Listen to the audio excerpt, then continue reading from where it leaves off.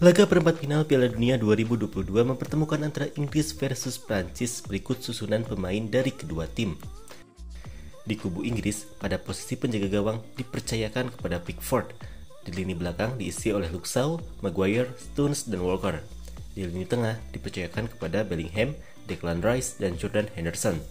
Di posisi lini depan dihuni oleh Foden, Keane, dan Saka. Sementara itu di posisi penjaga gawang Prancis dipercayakan kepada Hugo Lloris, di lini belakang diisi oleh Conde, Varane, Upamecano, dan Theo Hernandez. Di lini tengah ditempati oleh Aurelien dan Rabiot. Di lini depan dipercayakan kepada Dembele, Griezmann, Mbappe, dan Giroud. Di babak pertama, Prancis berada di bawah tekanan Inggris. Mereka kalah dari segi penguasaan bola. Inggris terus membuat Prancis berada di bawah bayang-bayang mereka dengan penguasaan bola mencapai 59%.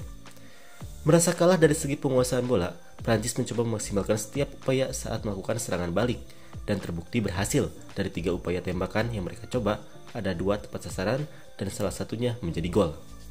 Adalah Aurelien yang mencetak gol pembuka bagi Prancis setelah memanfaatkan umpan brilian dari Antoine Griezmann di menit 17.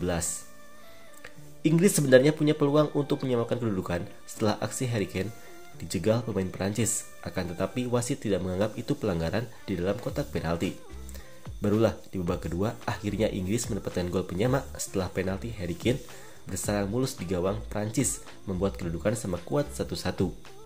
Prancis sukses kembali memimpin skor adalah Oliver Giroud yang sukses mencetak gol di menit 78 memanfaatkan asis Antoine Griezmann Inggris sebenarnya kembali mendapatkan kesempatan mencetak gol dari titik putih, akan tetapi sayangnya eksekusi Harry Kane mampu digagalkan oleh kiper Prancis. Dengan hasil ini membuat Prancis lolos ke babak semifinal dan akan berhadapan dengan Maroko